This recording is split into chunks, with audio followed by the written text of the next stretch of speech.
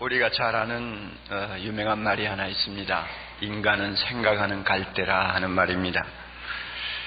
겉으로 보기에는 몹시 나약해 보이는 존재지만 생각할 줄 알기 때문에 위대하고 존귀하다는 의미입니다. 그만큼 생각한다는 것은 인간 고유의 아주 중요한 어, 유추작용이라고 할 수가 있습니다. 생각은 확실히 우리의 전 인격의 모판이 되는 것이 사실입니다. 우리가 여러 번 귀담아 들은 말이 있지 않습니까? 또 자주 들어도 참 가치 있는 말입니다. 생각을 심으면 행동을 거두고 행동을 심으면 습관을 거두고 습관을 심으면 인격을 거두고 인격을 심으면 마지막으로 무엇을 거두어요? 운명을 거둔다. 다시 말하면 생각이라는 것은 우리의 행동이나 습관이나 인격이나 운명을 좌우하는 씨앗이 된다는 이야기입니다. 이만큼 생각을 무슨 생각을 하고 사는 사람이냐? 무슨 생각에 매여 있는 사람이냐? 이것은 결정적인 영향력을 우리에게 끼친다는 것입니다. 세상에서 우리가 흔히 보면 생각 하나 잘해서 참 행복하게 사는 사람이 있는가 하면 생각 하나 잘못해서 너무너무 불행한 사람이 있고요. 생각 하나 바로 해서 지혜로운 자가 되는가 하면 생각 하나 잘못해서 천하의 손가락질 당하는 어리석은 사람이 되는 것을 우리는 많이 봅니다. 사람은 역경을 만날 때 무슨 생각을 하느냐도 참 중요합니다. 왜? 미끄러져 내려갈 때 생각을, 생각마저 잘못해가지고 뭐 다시는 일어설 수 없는 치명타를 당하는 사람도 있으니까요. 그러나 더 중요한 거 있습니다.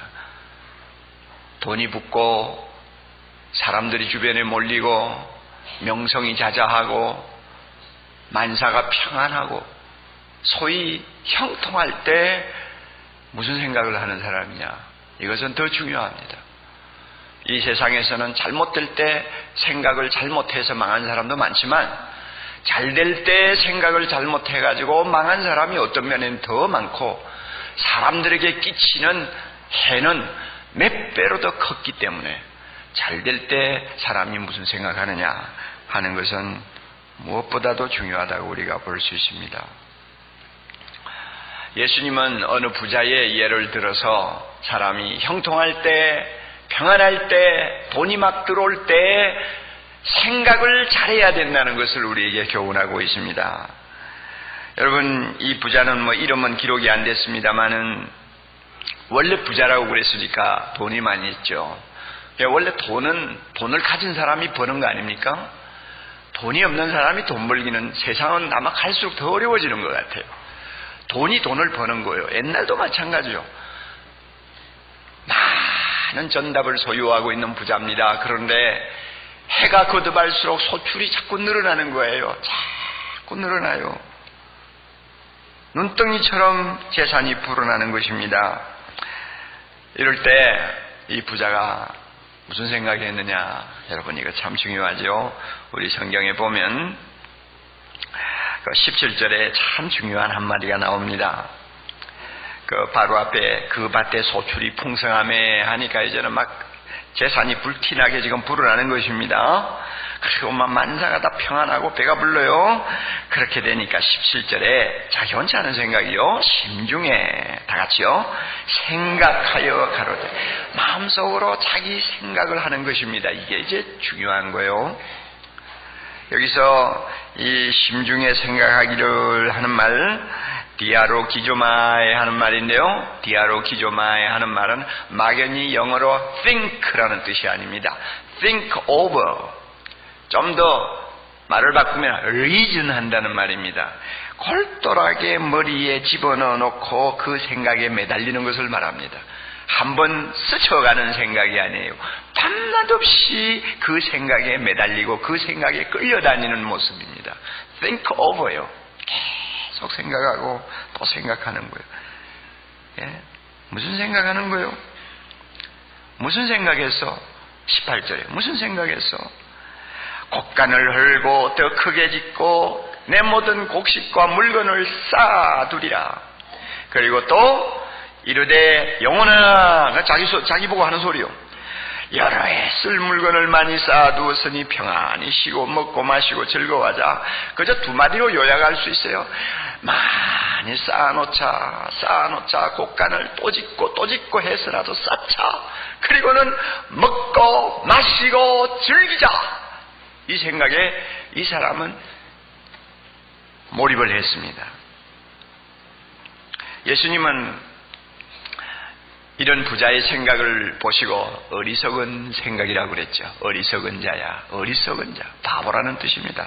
바보야 하고 주님이 말씀하셨는데 재산이 늘어가면서 이런 생각에만 몰두하는 그 어리석은 사람, 우리는 배워야 될 교훈이 많아요. 더욱이 대각성 전도 집회를 앞두고 우리가 전도해야 될 대사람이 대상들이 도대체 어떤 생각을 하고 있는 사람들인가를 우리는 정확하게 분석하고 보아야 돼요.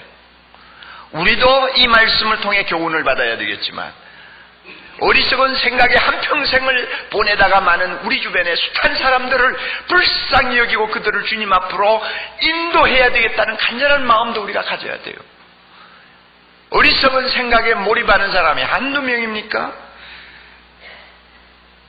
부자는 주로 세 가지를 생각했습니다.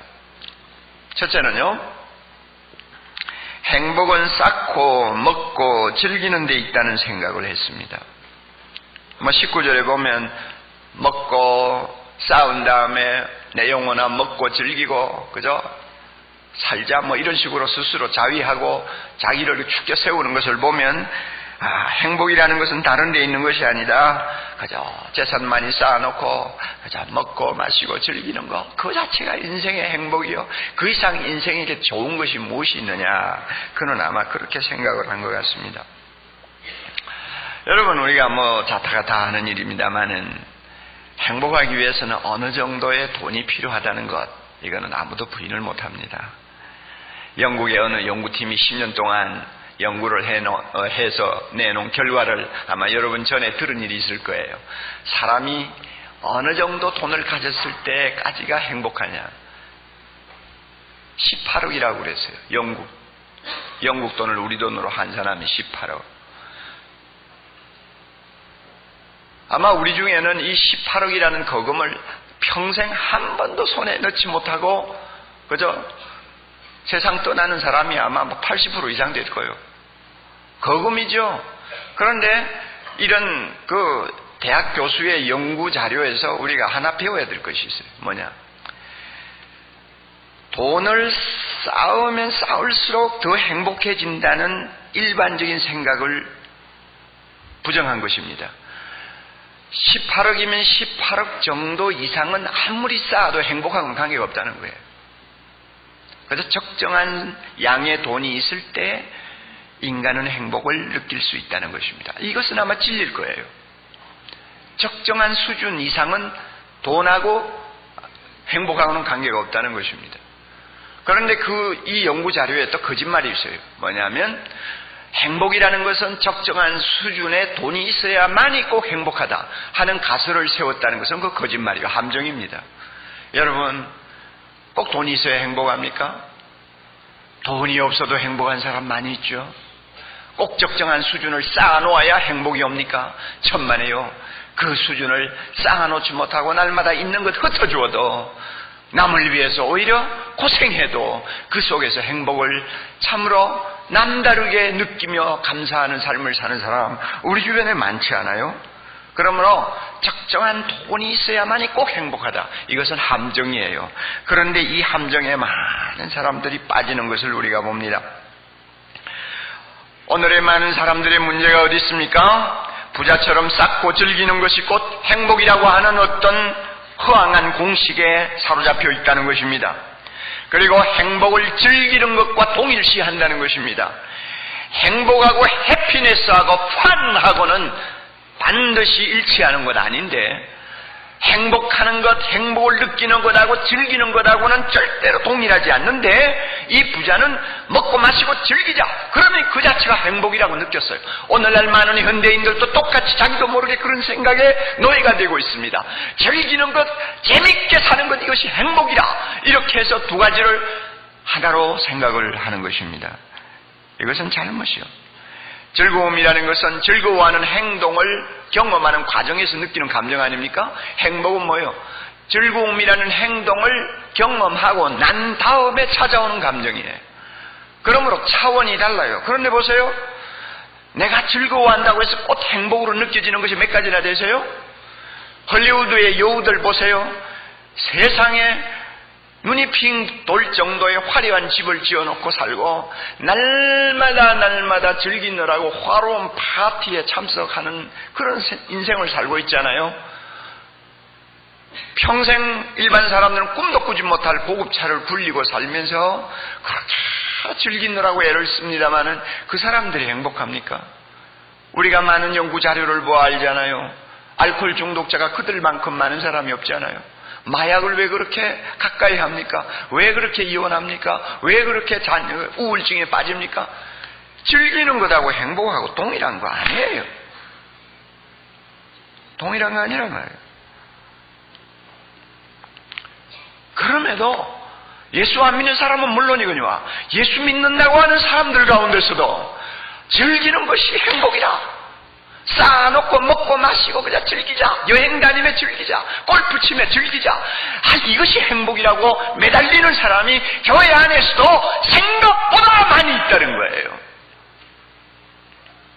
어떤 목사님이 저에게 전화를 해서 저는 잘못하면 심장이 멎을 뻔했어요. 이 목사님은 청소년들이 인터넷 채팅에 들어가서 그 음란한 이야기들을 주고받는 그런 일에 학생들이 너무 몰입을 하니까 이것을 좀 막아보려고 자기 목회 지장을 받을 정도로 시간을 내서 그 채팅 세계를 검색하는 것입니다. 이거는 목사가 할 일이 아니에요. 또 해서도 안 되고요. 제가 하면 목사가 오히려 나중에 잘못하면 말려들어요. 그런데 이 목사님 이게 소명감이야. 너무 가슴이 아프니까. 그래서 그 왜 채팅 아시죠? 여기서 한마디 하면 저기서 한마디 하고 그 할 일 없는 사람이나 주고받는 짓이지, 시간 바빠 도는 사람이 그거 쥐고 앉아서 두들기고 있을 틈이 어디 있어요 사실. 그런데 여기서 한마디 하면 저기서 한마디 하고 그러면 상대방이 누군지 몰라요. 가명을 쓰고 들어온 사람일 수도 있고 거짓말 어, 자기 신분을 거짓, 어, 어, 거짓말로 가장하고 들어오는 사람일 수도 있고 뭐 모르는 거예요. 뭐, 무조건 주고받는 거예요. 그런데 그 목사님이 저보고 그래요, 목사님. 음란 채팅에 사랑의 교회 순장이 있다는 걸 아세요?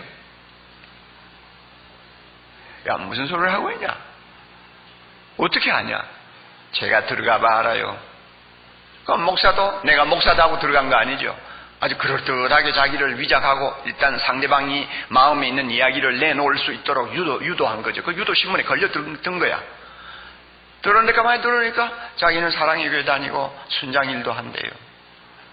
아, 그런데 왜 이렇게 좋지 못한 사이트에 들어와가지고 이렇게 하느냐고.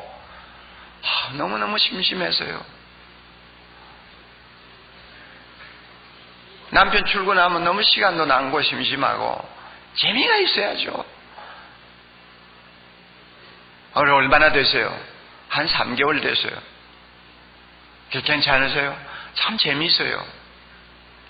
그러다가 잘못되면 어떻게 하려고요? 그런 건 생각 안 해봤어요. 세상 기가 막힌 거예요. 그 목사님이 저보고 그래요. 자기, 자기, 자기 옆에 있는 교회는 그런 식으로, 어, 주부가 채팅 들어갔다가 두 사람이 가출해버렸대요. 지금 두 달째 집에 안 들어온대요. 어디가 있는지도 모른대요. 애고 뭐 남편이고 다 내버리고 가출해버린 거예요. 그 어디, 어, 깡패 같은 사람에게 걸려 들어가지고 지금 어디 녹아나는 거예요, 지금. 여러분 한번 생각을 해보세요. 즐거움이 행복입니까? 즐기는 게 행복인가요? 참된, 참된 행복은 쌓아놓고 먹고 마시며 즐기는 것과는 전혀 무관하다는 것을 깨닫는 것, 이것이 우리가 행복을 추구하는 기초입니다.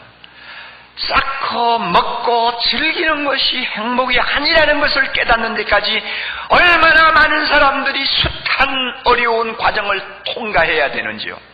그래야 배우 그 진리를, 겨우 그 진리를 깨달아요. 그러나 우리는 값, 값, 많은 값을 지불하고라도 이 진리를 깨달아야 합니다. 쌓고 먹고 즐기는 것이 행복이 아니라는 진리 말입니다. 이 진리를 깨달으면 우리는 시간을 해방시킬 수 있습니다. 그래서 우리의 시간을 좀 더 가치 있는 일에 우리가 투자할 수 있어요. 우리가 이 진리를 깨달으면 돈을 해방시킬 수 있습니다. 나를 위해 나를 즐기는 데 쓰던 돈을 아껴서 좀 더 보람있는 아름다운 일에 쓸 수가 있습니다. 우리는 이 진리를 깨달으면 내 마음속에 있는 못된 잘못된 감정으로부터 나를 자유케 할 수 있습니다. 남이 잘 되는 거 보면 마음이 아프고 남이 즐기는 거 보면 배가 아프고 하는 이런 잘못된 감정 이런 감정에서 우리를 자유할 수 있어요. 그래서 참으로 하나님을 찬송하는 기쁜 마음을 가지고 정말 행복한 일을 위해서 우리는 살 수 있어요. 그러나 쌓고 먹고 즐기는 그 자체가 행복이 아니라는 것을 깨닫는 데에는 어떤 사람은 평생이 걸리는 것을 봅니다. 평범한 것 같아도 너무 어려운 진리, 진리인 것이 틀림이 없습니다. 우리 주변에 이런 사람들이 너무 많아요. 둘째로 부자는 자기 생명의 주인이 자기라고 생각했어요. 무슨 생각에 골똘했어요? 내 생명이 내, 내 생명은 내 것이다 하는 생각에 골똘했어요. 여러분 20절 보세요. 하나님이 그 생각을 꼬집어 가지고 말씀하시잖아요. 그렇지 않아요? 어리석은 자요. 뭐 먹고 즐기자고 이 멍청아. 오늘 밤에 네 영혼을 도로 찾으리니 오늘 밤에 네가 네 생명을 내가 거두어 가면 도대체 너는 뭐냐? 쌓아놓은 곳은 다 어디로 가냐? 하는 이야기입니다. 그런데 부자는 이걸 몰랐어요. 자기 생명이 자기 것인 줄 알았어요. 재산이 늘어나고 힘이 생기자 생명도 자기 손에 있는 줄 알았어요. 쌓아놓은 부가 자기 건강과 생명을 보장한다고 알았어요. 막연한 생각이지만 무서운 탈선이죠. 자기도 모르게 그렇게 되는 거예요. 가만히 보니까 세상에서 좀 힘 좋고 뭐 재산 많고 만자가 잘 돌아가니까요. 자기도 모르게 뭐 100이면 100 똑같은 생각하더라고요. 내 건강하고 내 뭐 뭐 이 정도면 나는 뭐 120살까지 살 수 있습니다 하는 생각을 은근히 갖고 마치 생명이 자기 손에 있는 것처럼 착각하더라고요. 완전히 자기 중심적인 생각입니다.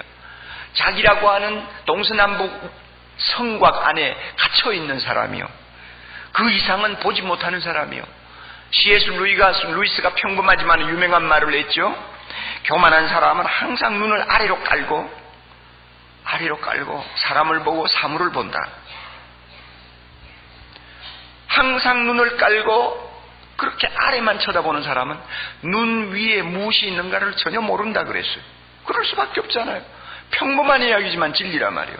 항상 눈을 아래로 깔고 사람을 보고 사물을 봐요. 눈을 지켜들어야 자기 위에 무가 있는 걸 알 거 아니에요. 그런데 그것을 볼 생각을 안 하는 거예요. 그러니 생명도 자기 이상의 창조자 대신 하나님의 손에 있는 걸 전혀 모르는 것입니다. 그러니 그렇게 엉뚱한 소리를 하죠. 어느 부자가 이렇게 기도를 했답니다. 하나님, 저는 재물도 많이 쌓았습니다. 80이 되도록 건강하게 살았습니다. 그런데 하나님, 좀 더 살고 싶어요. 제가 가진 재산 반을 떼어서 하나님께 드릴 테니까 저에게 좀 더 살 수 있는 생명을 주세요. 그랬답니다. 그 말을 들으신 하나님께서 반색을 하면서 그래. 너 재산 다 주지 않고 반을 떼주겠다고. 좋아. 그러면 네가 만약에 나에게 재산 전부를 주겠다고 했으면 내가 2천년을 더 살게 했을 텐데 반을 주겠다니까 내가 천년만 더 살게 해주마. 와 부자가 놀랬어요. 천년을 더 살아. 동네방네 사람들을 불러 모아놓고 잔치를 하면서 하나님이 나에게 천년을 더 살게 해준다고 약속했네 하고 막 흥분하고 잔치하고 좋아했는데 하루가 지난 다음날 그만 심장마비로 죽어버렸어요. 그 아들이 얼마 지나고 나서 자기 수수께끼를 하나님에게 가지고 갔습니다. 하나님, 우리 아버지에게 천년을 살게 하신다고 하셨잖아요. 그런데 왜 하루만 살고 생명을 빼앗아갔습니까?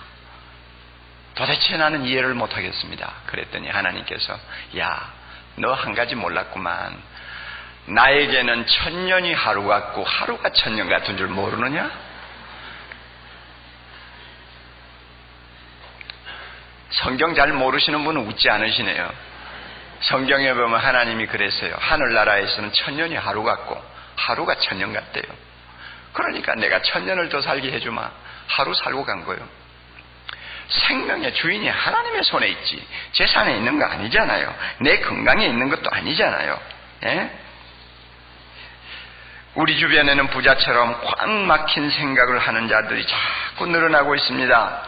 며칠 전에 신문에 났죠. 세계 최초로 인간 복제 회사를 설립한 콜로드 라엘이라고 하는 사람. 참 생긴 것도 좀 특이하게 생겼습니다만은 그 사람의 사고를 보니까 참 대단하대요. 세계 처음으로 인간 복제를 하겠다고 회사를 설립했다나요? 그 사람이 왜 갑자기 우리나라를 왔는지는 몰라요. 그런데 이제 나라마다 인간 복제를 허용을 안 하니까 그 사람 하는 말이 나는 공의 선상에 나가서 배 위에서라도 나는 인간 복제를 하겠다고 선언을 했어요. 왜 그렇게 인간 복제 고집을 하느냐 물었더니 과학이 인간을 인간에게 영생을 주고 있지 않느냐 이겁니다. 앞으로 영생을 준다는 거요. 그리스의 평균 수명이 19살밖에 아니었어요. 그런데 100년 전만 해도 미국이 40살이었죠. 50년 전에 우리나라 평균 수명이 52세였단 말이에요. 그런데 지금 보세요. 과학이 발달하고 의학이 발달함으로 인해서 우리나라가 벌써 72세, 74세 평균 수명을 지금 유지하고 있잖아요. 120이 이제 넘어갈 날도 얼마 안 남았다는 거예요. 그러므로 인간 복제가 성공하면 늙어서 더 이상 살 수 없는 것 대신에 새로운 젊은 나를 복제해서 만들고 그래서 또 살다가 또 그거 폐기 처분하고 또 복제해서 만들면 영생 한다는 거 영생. 예, 영생 한다는 거요. 사람이 교만해지면 이런 엉뚱한 생각이 빠지나 봐요. 돈이 많아도 그렇고 건강해도 그렇고 잘돼도 그렇고 젊어도 그렇고 이런 엉뚱한 생각에 빠져요. 사도행전 17장 24절 25절 이렇게 말씀합니다. 우주와 그 가운데 있는 만유를 지으신 하나님께서는 만유를 지으신 하나님께서는 생명의 원천이 되시는 하나님께서는 하는 말이요. 천지의 주제신이 만민에게 생명과 호흡과 만물을 친히 주시는 자심이니라. 생명의 주제 되신 하나님이 인간을 위시해서 모든 만물에게 생명을 주시기도 하고 거두어 가시기도 하신다는 것입니다. 생명의 주인은 하나님이시여. 이 사실을 모르고 재산이 많아지니 형통하니 힘이 생기니 생명이 자기 것처럼 생각하는 어리석은 사람들이 주변에 많아요. 우리 그들을 구원해야 됩니다. 교회를 다니면서도 그런 생각이 빠진 사람 정신 차리고 눈을 떠야 돼요. 깨달아야 돼요.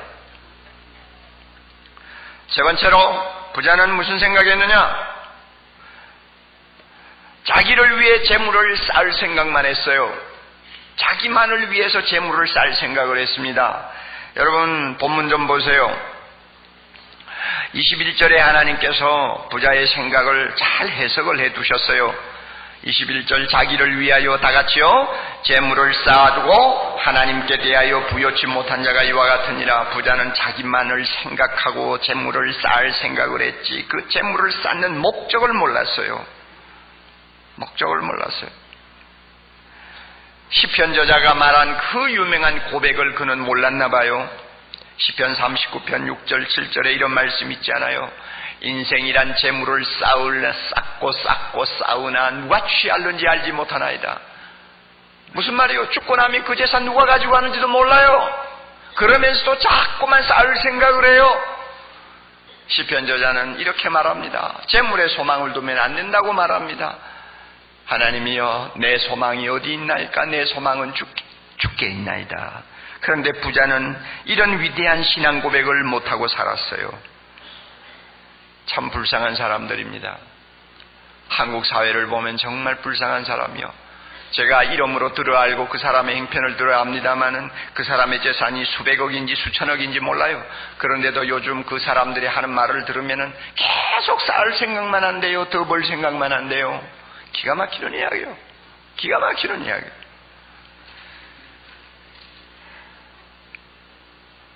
예수 그리스도를 만나고 예수 안에서 하나님을 발견한 사람은 그런 생각을 안 합니다.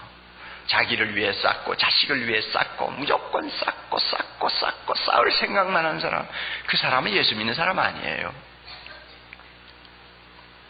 여러분 얼마 전에 지미 카터 대통령이 와가지고 집 없는 사람 집 지어주느라고 한번 많은 사람들에게 감동을 준 헤비타트 운동 여러분 아시죠? 그 신문에 참 아름다운 이야기가 하나 소개된 걸 보았습니다. 그 헤비타트 운동을 창설한 풀러라고 하시는 유명한 분, 원래 변호사였고 비즈니스를 하는 사람이었으니까 돈을 많이 벌었어요. 그 사람은 가난한 기독교 집안에서 자라면서 가난 때문에 한이 맺힌 사람이었어요. 그래서 나는 크면 반드시 돈을 벌리라. 그래가지고 변호사 되고 비즈니스를 하니까 떼돈을 보았죠. 매일 그냥 막 돈이 들어와요. 그래 돈을 많이 벌고 좋은 집 짓고 사는데 한 30년 전에 자기 아내 린다가 어느 날 가출을 해버렸습니다. 가출을 하면서 남겨놓고 간 쪽지에는 이런 말이 있어요. 여보, 나는 이렇게 사는 것이 무슨 의미가 있는지 모르겠어요. 맨날 그냥 돈 벌어서 그냥 잘 살고 그냥 큰 집 지을 생각하고 뭐 즐길 생각하는 거. 나는 이런 삶이 무슨 의미가 있는지 모르겠어요. 나는 이런 삶 살고 싶지 않아요. 하고 집 나가버렸어. 거기에 이 사람 풀러 이 사람 충격을 받았어. 그래가지고는 자기 집 하나만 남겨놓고는 자기 재산 다 처분해가지고 자선사업단체 기증해버렸어요. 그리고 아내와 함께 아프리카에 가서 3년 동안 선교사 일을 하다가 그 다음에 미국으로 돌아와가지고는 헤비타트 운동 시작한 것입니다. 집 없는 사람 집 지어주는 운동 시작한 거예요. 그래서 지금까지 10만 채의 집을 지어서 수많은 사람들에게 삶의 보금자리를 마련해 주었습니다. 여러분, 이런 세계적인 위대한 일을 하는 사람의 예를 들면 우리는 마음에 와 닿지를 않아요. 너무나 뜬구름 잡는 이야기와 같으니까. 우리가 평범한 삶을 살면서도 나만을 위해서 쌓는 삶을 살면 안 돼요. 이거는 죄악이에요. 하나님이 돈을 주실 때는 이유가 있지 않겠어요? 다 똑같이 비즈니스 하는데 많은 돈을 하나님이 나에게 주실 때는 주시는 이유가 있지 않겠느냐 그 말이에요. 예수 안 믿는 사람은 그 이유를 모르니까 자기를 위해 쌓는 데만 신경을 곤두세웁니다만은 믿는 사람들이 그러면 안 되죠. 그런데 예수 믿는 사람들 보면 그 생각이 아직도 바뀌지를 않고 있는 경우가 많아요. 싸우면 싸울수록 더 돈에 대한 애착을 가져요.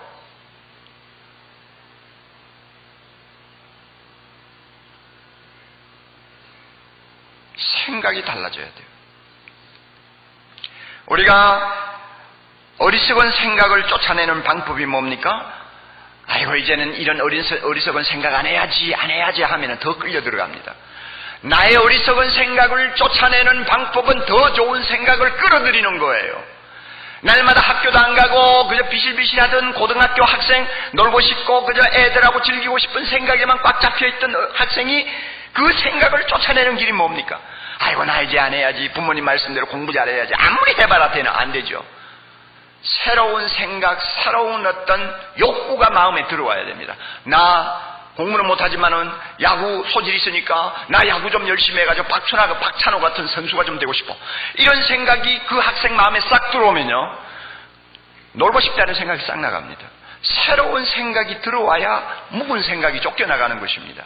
하나님께서 뭐라고 그래요? 예수 믿으면 모두 성령을 마음에 모시게 되고 그 성령이 우리 안에 들어오면 옛날의 생각을 몰아내고 새로운 생각이 자리를 잡는다고 했습니다. 여러분 자막을 좀 보세요.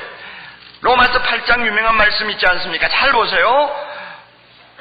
5절 말씀이에요. 참 중요한 말씀이에요. 보세요. 가만히 보세요. 육신을 쫓는 자는 육신의 일을 생각합니다. 이거 예수 안 믿을 때의 생각이에요. 또 교회를 다녀도 아직도 중생받지 못한 엉터리 신자들이 하는 생각이에요. 항상 육신을 쫓는 생각이에요. 이 부자와 같은 생각이 바로 육신을 쫓는 생각이에요. 육신을 쫓는 사람은 항상 육신의 일을 생각한단 말이에요. 그러나 예수 믿고 성령을 마음에 모신 자는 누구를 쫓는 생각이요? 영을 쫓는 사람이요. 그러므로 영을 쫓는 사람은 새로운 생각이 있어요. 영의 일을 생각하는 것입니다. 육신의 생각은 다 같이요. 사망이요. 영의 생각은 뭐요? 생명과 평안이니라. 진짜 행복은 영의 생각을 쫓는 거 아닙니까? 하나님께서 우리 마음에 주시는 새로운 생각을 쫓아가는 것이요. 보세요. 육신의 생각은 하나님과 원수가 되나니 이는 하나님의 법에 굴복지 아니할 뿐 아니라 할 수도 없음이니라. 다 같이 그 다음에요. 육신에 있는 자들은 하나님을 기쁘시게 할수 없느니라. 하나님이 돈을 주시면 쌓기만 해.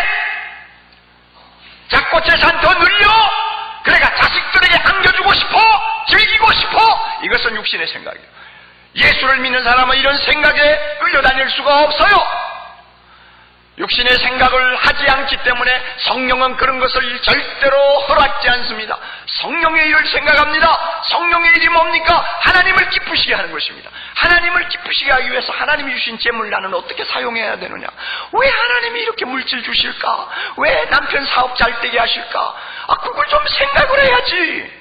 그래서 하나님을 기쁘시게 하기 위해서 뭔가 골똘히 생각하다가 선한 일을 하는 것입니다. 이게, 이게 하나님을 믿는 사람의 생각이에요. 헤비타트 운동을 일으킨 풀로와 같은 또 그의 아내 린다와 같은 위대한 영웅적인 생각을 해야만이 꼭 좋은 것은 아닙니다. 우리는 그런 수준에는 따라가지 못하죠. 평범한 이야기도 필요합니다. 여러분 오늘 제가 저의 가정 이야기를 참 합니다. 정말 여러분 용서해 주시고 들어주시면 좋겠어요. 제가 평소에 존경하고 사랑하던 여인이 있었습니다. 그분은 저의 장모였습니다. 88세로 그는 세상을 떠나서 어제 저 경남에 있는 산소에 장례를 하고 돌아왔습니다.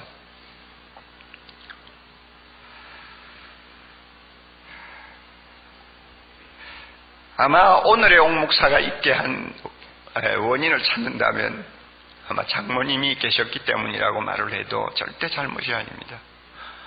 또 오늘의 사랑의 교회가 이처럼 하나님 앞에 영광을 돌릴 수 있는 교회로 자리매김을 할 수 있었던 뿌리가 어디 있느냐 하고 묻는다면 그 장모 되시는 신명령 권사님을 절대로 빼놓을 수가 없습니다.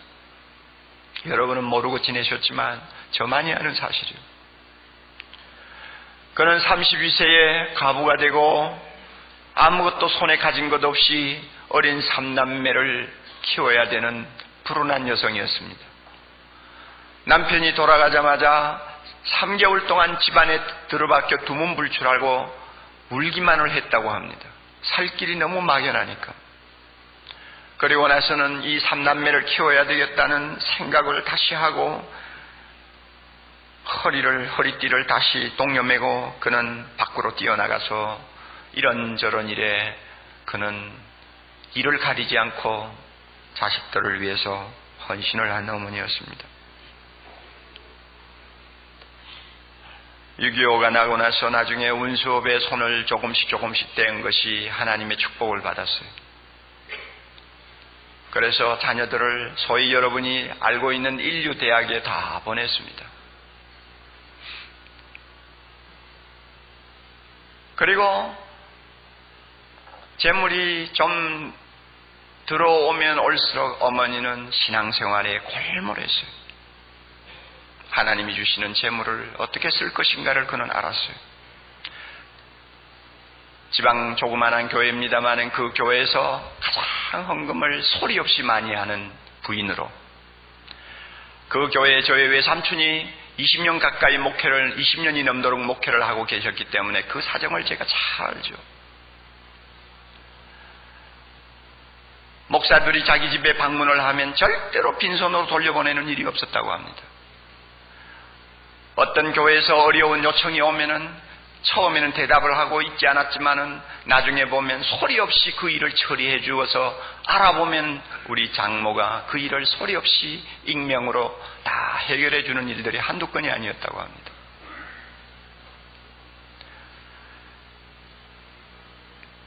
딸이 어쩌다가 어느 남자 하나를 사랑하게 됐습니다.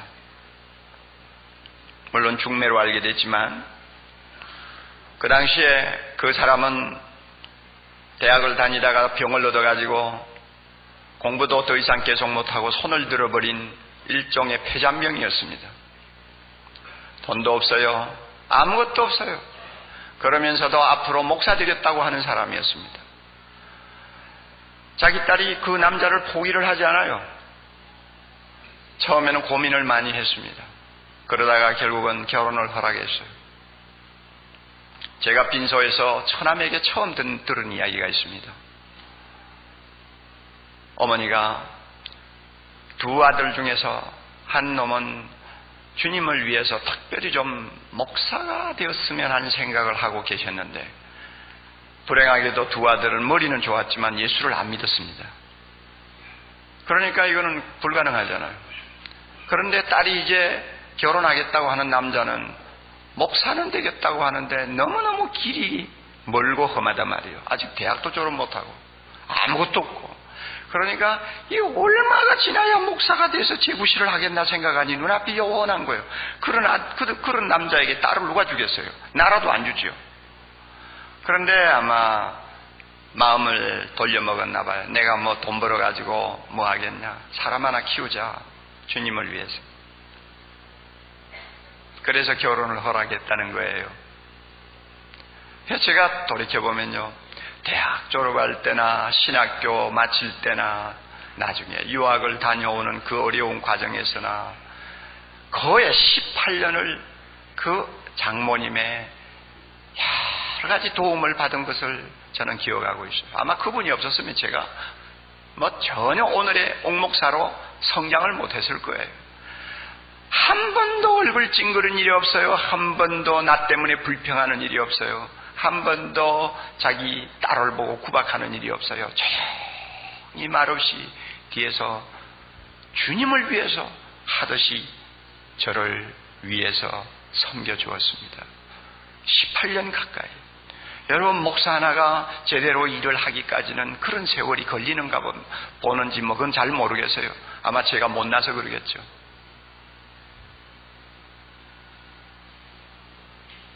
어머니는 재산을 쌓아놓지 않았어요. 자식에게만 주겠다고 안달하지 않았어요. 뭔가 그는 성령의 생각을 가지고 계셨어요. 저는 그것을 수십 년 동안 지켜보면서 살았습니다. 그의 이름은 신문에 한 번 난 일도 없어요. 아는 사람 몇 명 안 돼요. 너무나 평범하게 살다가 평범하게 간 사람이지만 성령을 마음에 모시고 하나님을 믿는 거룩한 여성으로 변화되자마자 그는 물질을 가지고도 어떻게 사는 것이 하나님이 기뻐하는 일이냐? 무슨 생각을 하고 사는 것이 하나님의 사람의 생각이냐를 알았어요.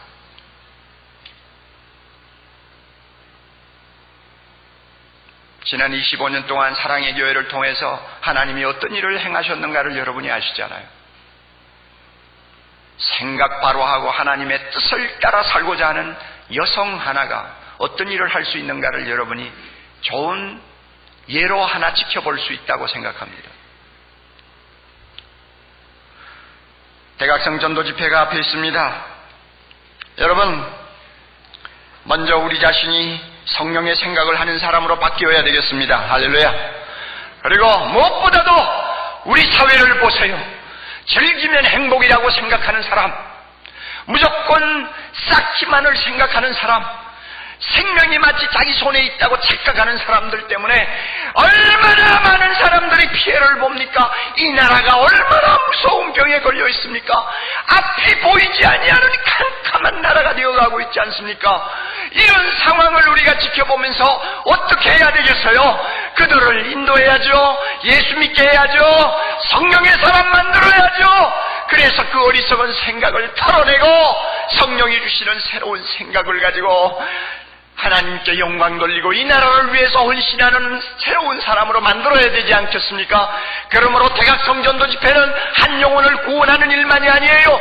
구국의 길입니다. 나라를 건지는 길입니다. 이 나라를 살리는 길입니다. 우리 후손을 위해서 이 나라를 다시 새로운 터 위에 세우는 작업입니다.